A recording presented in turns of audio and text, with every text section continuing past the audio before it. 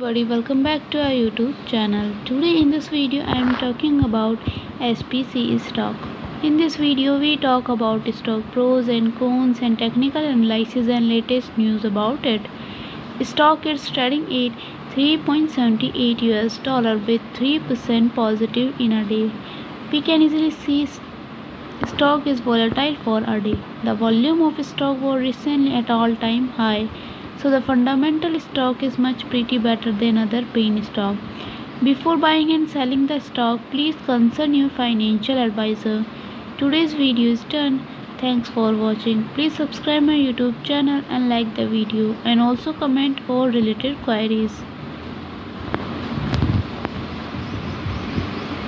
New videos.